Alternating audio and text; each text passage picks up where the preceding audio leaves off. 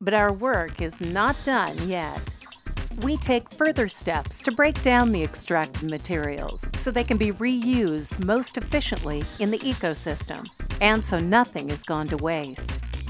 The solids extracted in the primary and secondary treatment steps are first thickened and then pumped into large digesters.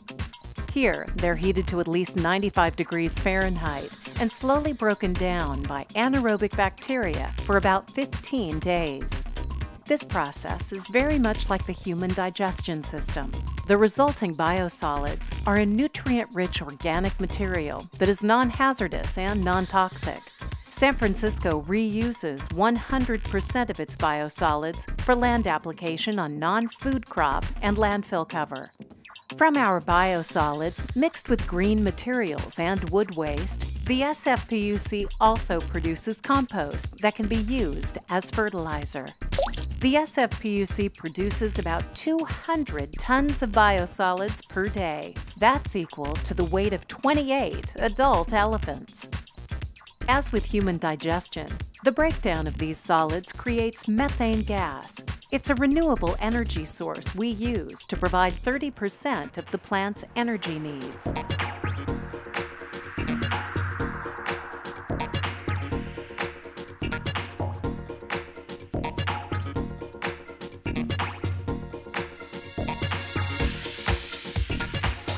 The SFPUC is redefining how wastewater is viewed with innovative approaches for a cleaner environment for generations to come.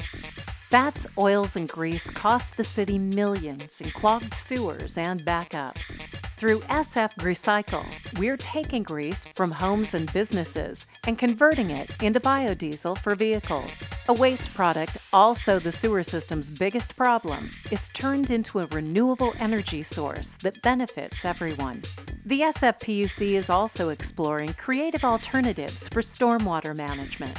These solutions are called low impact design and include use of green technologies to reduce the amount of stormwater runoff entering the sewer system. As part of the program, the SFPUC is developing guidelines for new development areas in San Francisco to capture rainwater on site. The SFPUC is also encouraging residents to install rain barrels, just like the ones they installed at the Southeast Treatment Plant or Cesar Chavez Elementary School. If you collected all of the rainwater off of a 1,000 square foot roof, you would have enough water to flush the toilet 7,812 times. In another step to conserve our drinking water, the SFPUC will offer recycled water, highly purified wastewater, as a new water source for landscape irrigation in parks and golf courses.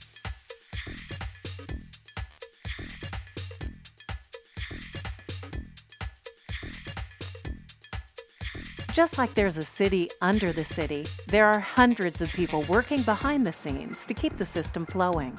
Sewer crews walk and inspect the sewers every day to identify needed repairs and other issues and keep the system flowing. Looks, you can tell the bricks eroding. Like when you put your fingers on it, it's like sandy. And you can see sand coming out through here. You don't want that. And that's just going to cause cave-ins in streets. The city under the city is due for a major upgrade, and the SFPUC is being proactive by planning ahead. The SFPUC's capital improvement projects have been confronting the most immediate needs flood risk in low lying areas, odors, and overall system reliability and performance.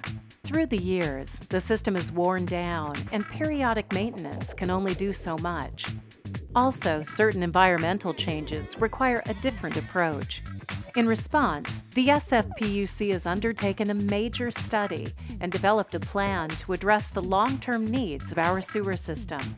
One main focus is the Southeast Treatment Plant, which is located adjacent to the businesses and residences in the Bayview District. Plans are underway to address the issues of odors, unappealing aesthetics, and seismic stability. Another threat the SFPUC is looking into is the effect of global warming. Rising sea levels have resulted in seawater infiltrating the sewer system, causing sewer backups in homes and businesses. San Francisco's wastewater system is one of the best in the world. In learning how the system works, we hope you have a greater appreciation for how the SFPUC is managing the city under the city to make possible the beautiful one above. Take a tour of our treatment plants to learn how we make dirty water clean again. Visit sfsewers.org to learn more.